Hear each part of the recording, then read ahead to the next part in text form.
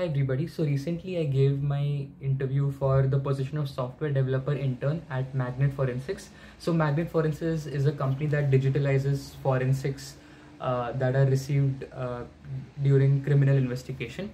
So uh, the tech stack the company follows is front end for uh, JavaScript, TypeScript, and back end for Golang, uh, dot, .NET C Sharp as well. So that's the uh, tech stack that the company uses. And based on the job requirement the minimum requirements you could say is uh, experience with full stack development experience in front end development as well with javascript or typescript. And in back end development uh, you need to be strong with either c++ java or c and uh, OOPs concepts. So that's where it uh, boils down to.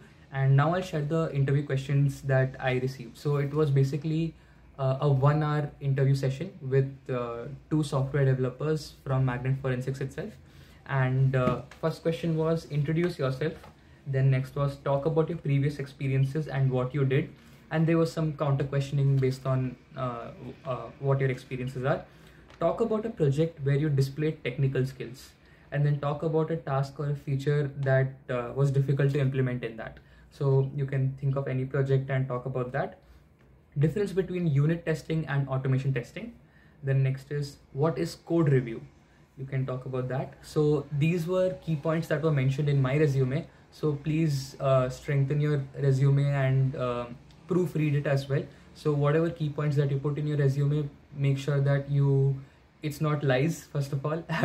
And uh, please make sure that you have gone through it well. So the questions will be based on your resume obviously and then um, next was a technical assessment. So let's talk about the technical assessment.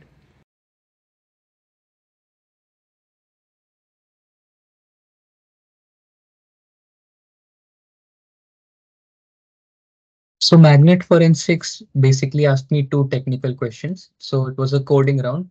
I was supposed to um, share my screen and write down the code for these two questions. So the first coding question is um, consider uh, a number n from 1 to n. If n is divisible, if the number is divisible by 3, print buzz. If it's divisible by 5, print fizz. If both, print fizz buzz. And second question was a continuation of the first question. So again, uh, consider n and a random array, uh, which is 1 to m integer array. Now from 1 to n, consider sum is 0 and if n is divisible by m, then sum up m. So basically it's slightly confusing. Let me make this bit more readable to dot dot dot m. So if one, basically two for loops. So the upper outer for loop will be till n, inner for loop will be till m. So if n is divisible by m, then sum up m. If n is not divisible by m, then ignore it. Move on with the next number. There's a condition here. If n is divisible by all m numbers, then we have to exit the loop and return zero. So that's the stop condition. So basically they're testing out uh, our for loop strength and uh, divisibility test again.